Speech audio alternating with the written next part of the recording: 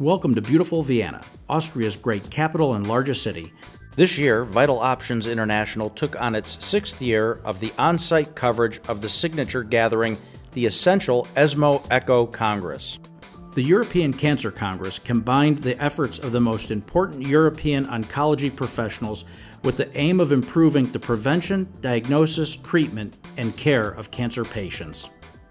I would like to pick up on the point what, what Vlad said that this is about doing something and mm. about actually he's actually using one of mm. the tools that you created. So it's an mm-hmm. advocacy mm-hmm. tool, and it's a very. You mm-hmm. said it was a very powerful one because uh, this is something even a, a, a government will have to respect the mm. WHO. So someone put here down. In the country next to me, they have a drug. I don't have it, and that for me is uh, something that we as advocates actually do quite often. That we compare the situation in our country with something uh, to, to the situation in a similar socio-economic setting, and say they have it, we don't. Do you have other ideas how we can, for example, use your data or your work for our advocacy concretely? And ideally, we would like to have contacts, data sources to get going. Any ideas? So in, in terms of what of what exists um, and what you can use, so we have it online, and you can you can have it online. Um, the resources showing you, and and I think we can even work on providing even better tools, um, maybe focusing on each individual country uh, uh, situation. Where we took the WHO list, we can take the WHO list and look at each individual country what is accessible or not, uh, and then you can you can have uh, the Europe overview, and then you can have your your coun- specific country uh, situation, and go with both, and and show look. Um, and the, and we are not talking about expensive drugs. We are talking about drugs that cost five euros, ten euros, or something. So that that is a, a, a possibility to. to Okay. And something that we actually just talked about uh, earlier on, Vlad, what you said, what you thought was essential to get going to really be effective. Do you want to elaborate on that?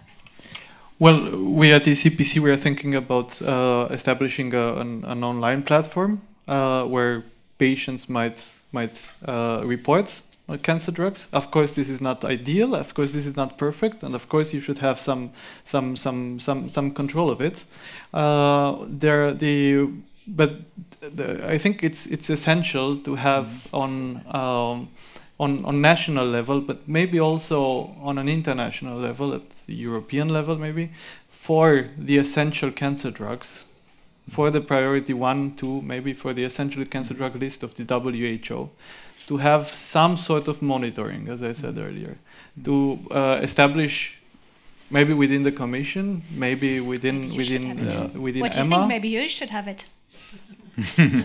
like adverse event reporting. I mean, we're able to do Yeah. it. Maybe. It would be difficult uh, on a global scale. Yeah. Maybe we had would a very good report uh, published in April about the use of essential, essential medicine. It's on our website, and if you need this um, insight, it's uh, it's easy to find about the criteria and, and about the changes uh, essential medicines can catalyze. It's not only about uh, procurement, it's about pricing, it's Yeah. about uh, developing uh, sta- national standards.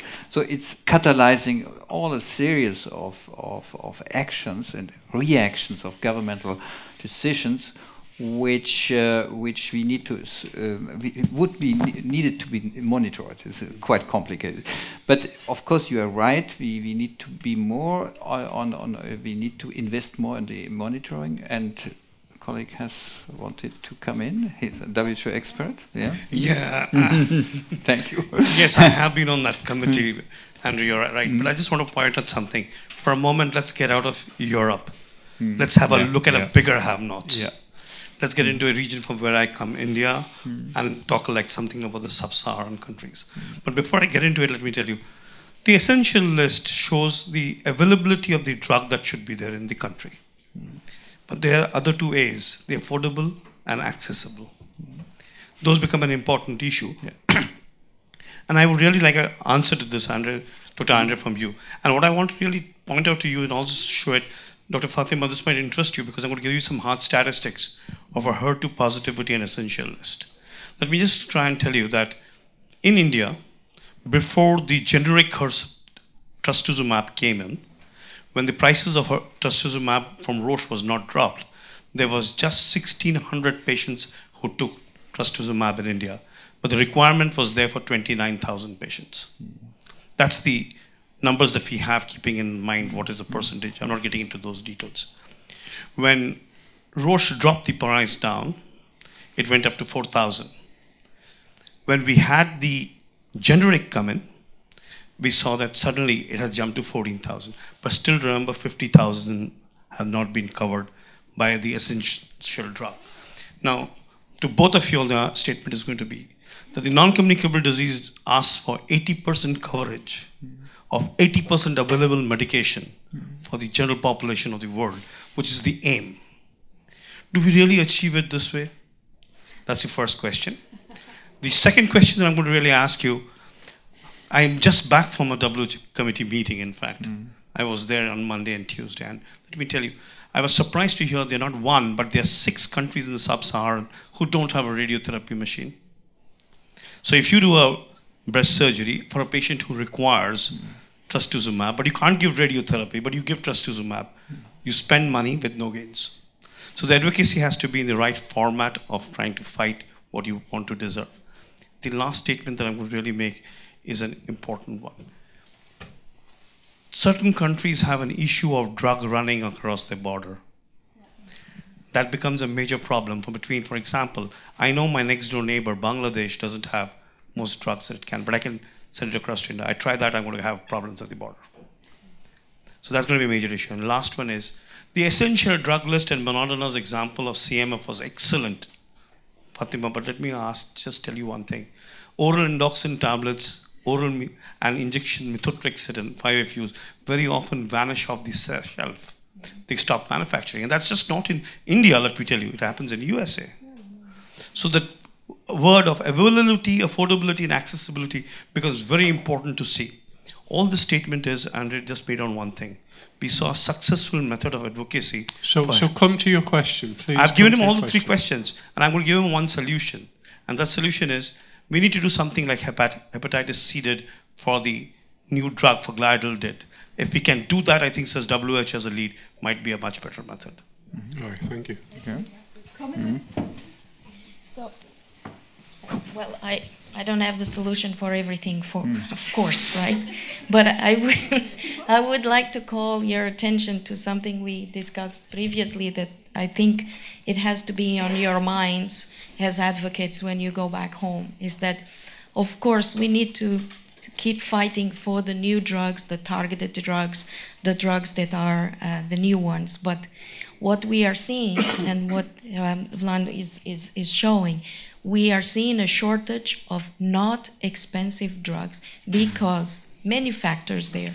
First, they are not giving any profit. So pharma doesn't want to produce. But even when pharma is producing, because they have, you know, governments arrange, they say, okay, you can sell this more mm-hmm. expensive mm -hmm. drug if you keep um, uh, producing the not expensive one. What happens is that they don't want to distribute it. And so, for example, in Portugal, we were without, it's not even a cancer drug, but it's indispensable for cancer patients. It's a steroid called dexamethasone. It's indispensable to treat brain metastasis. Okay? We were without it for one year because they diverted all this dexamethasone to Germany because in Germany they pay five times more. Mm. Because dexamethasone is only a few cents. So uh, this problem, what I, what I think could be a solution, but this can only happen if all of us get together. But it's not even enough, the advocates. We, somehow we need to go to the general population. I think these unexpensive, unexpensive mm. drugs must be produced by the governments. And you know, it wouldn't be difficult if there will be one factory in Europe and all the member states would put money for that, and that factory could produce the medicines that are essential for all cancer patients in Europe. And the same can be done in, uh, in other countries. You know how the US sorted the problem of one one drug called Caelyx that it's a liposomal anthracycline, very very important to treat ovarian cancer. There was only one factory in the world producing it, and that factory closed. So w- yeah, so we had no Caelyx for three years until they made an arrangement in India, and they start mm. producing the drug. Mm-hmm. So this brings, you know, there are so many solutions that you just have to break the barriers and, and think outside the box mm. because it's good for India economy, it's good for cancer patients, and it solves a, sort, a shortage.